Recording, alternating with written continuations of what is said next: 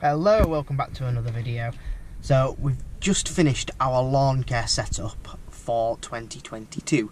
Right now it's the middle of January and I've just pulled up at the back grandstand entrance of York Racecourse I thought it'd be pretty quiet here. I mean I learned to reverse on my driving test around here so it's normally a pretty forgiving place. So, right, let's take a look.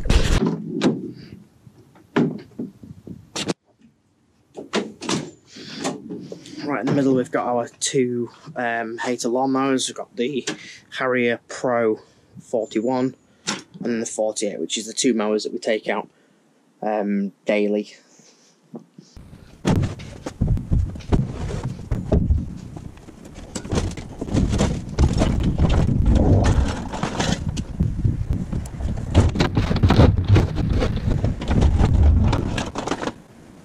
We've got our Wolfgarten the hoe and the weed pull push, uh, which is actually quite a handy tool. Um, that's the larger version. They can get slightly smaller one, but the larger ones seem to work quite well. Uh, two handles, both on these little um, clips, which work pretty well, and just a couple of different types of anvil cutters. Um, a couple of reasons for them being there, which I'll get onto in a second. I've also got the um, on the wall the, the larger Wolfgarten um, attachments. Uh, poles, rather. So, design the system whereby you just pull it out and lift up.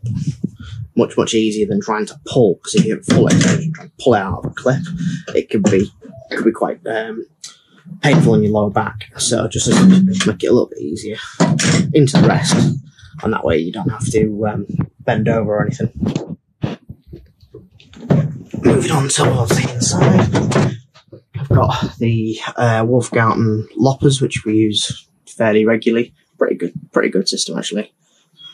I've got some um, Niwaki, um, I don't know the actual name of them, but the Niwaki shears, and just brilliant if you just want to do a little bit of kind of neat pruning if you're doing like Portuguese laurels or something. Uh, very very handy for that. We've got the Ego trimmer which we've mounted on the wall with um, these brackets, which are really good actually. So what I did was beforehand, I took all this paneling off and there's some strengthening struts just behind, just so we can. Um, I know it's not heavy, but I just wanted to make sure that the ply line job wasn't going to start to bow after a little while. We've got the um, strimmer cable, which I've mounted onto a, a bike bracket, which I just got from Elephants, which is um, really good actually. I'm really pleased how this turned out. Neat little cubby hole that I found it found it in. So all you need to do just get your extension reel, and then your cutters are right there. So dead simple if you want to get. We also use a speed feed head on the Ego, so it's um, yeah ultra efficient.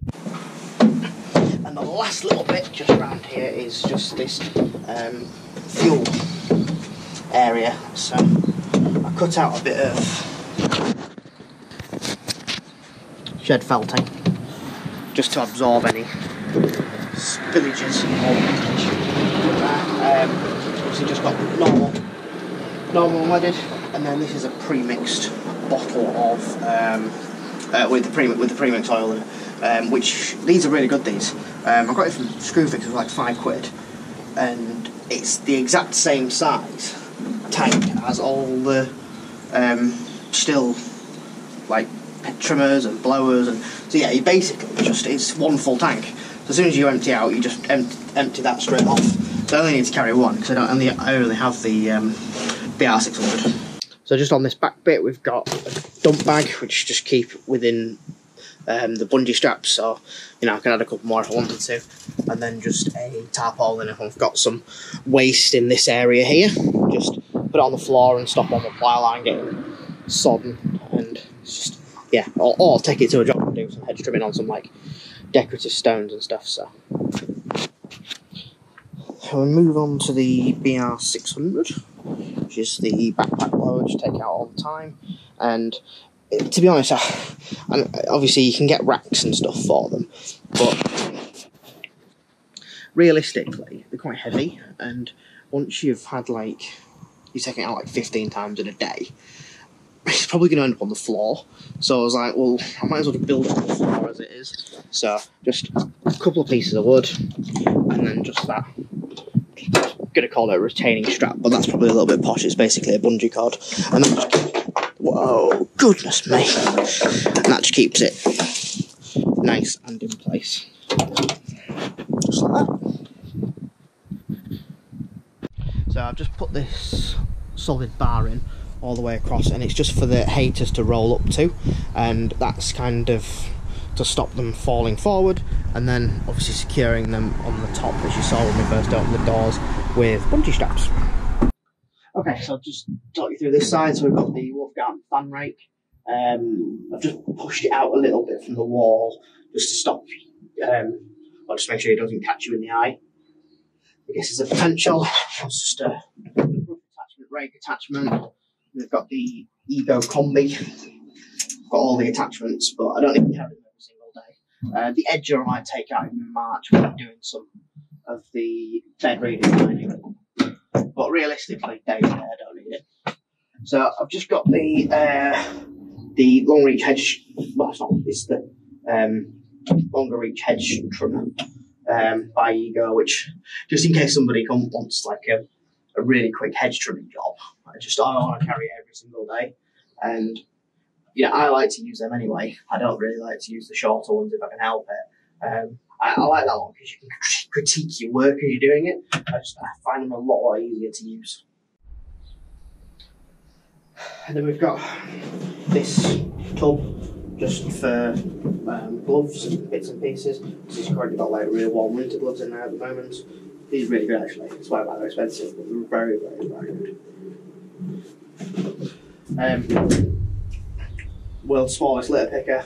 To be honest, it's just we have a hotel um, areas which is kind of by a roadside, and it's just an absolute wind tunnel just for rubbish, and it's it's really specifically for that. We do have a couple of other commercial sites, but yeah, it's just predominantly for that.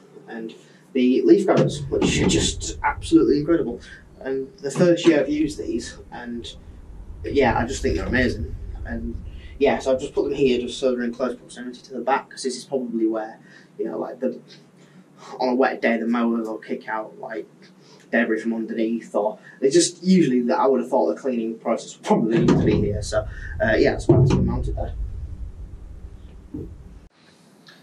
So a couple of things I wanted to make sure that we delivered when we started designing this van, myself and colleagues, and that was I didn't want to have to go into the van at any point. Every single thing that I wanted, because it's got the dual door opening on the front of this, I wanted to make sure that everything could be reached really, really simply just by leaning into the van. I also wanted to make sure that everything was kind of in a relevant area. So if you've got a Wolfgarten attachment on this door, you know, the pole shouldn't be too far away. The worst thing would be to walk around to another door. If you want to learn a bit more about that, I do have another video on the 5S system that we set up on this van, which is a previous video. I'll link it in the description. It's pretty good and then on the other door is just a selection of Wolfgarten attachments which we use fairly regularly um, yeah like the weeding knife and that's for scraping in and out uh, in the corners of patios and um, and slabs and stuff which is pretty good actually use it quite a lot scraper just in case and yeah just all conveniently located to that door there which has got all your different attachments on it so currently it doesn't have any form of PPE or apparel that you'd wear. So like uh, ear defenders, and tops. Uh, I guess gloves is the only thing that uh, is in the back of the van. That's just because I'm keeping everything at the moment in the, in the cab, and I will move a couple of things to the back. I think as we kind of progress through the season, but I just want to make sure that kind of the workwear is kind of where the people sit at the moment, and you know, I might, probably will change that in the future, but I just don't want to overcomplicate it at, um, at yeah, the earliest stage. Let's have one last look around and then we'll pack up and go.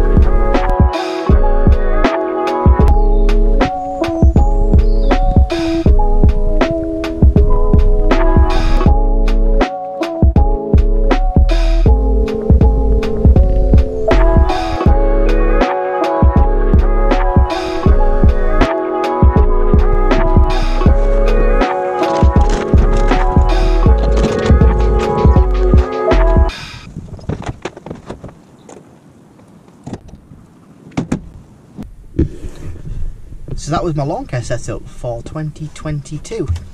Curious to know if you think there's anything that I'm going to regret not taking with me. If you could put that in the comments, that'd be. I'd love to. I'd love to have a look because I've racked my brain, and I reckon that's probably the majority of stuff that I need on my regular maintenance round. And obviously, you know, different areas and different types of businesses will use different um, bits of equipment, but I'm just curious to know if you think that I've missed anything out. Um, if there's anything that you thought was particularly um, good, let me know. And if there's anything that you think um, I could improve on, again, please let me know. You know, let's try and share some ideas. Um, thanks for watching. Um, like and subscribe if you haven't already. Um, really, I really do appreciate every subscriber. Um, it's a fairly new channel. It just helps it grow. And uh, yeah, I shall see you in the next one. Thanks for watching, guys. Cheers. Bye.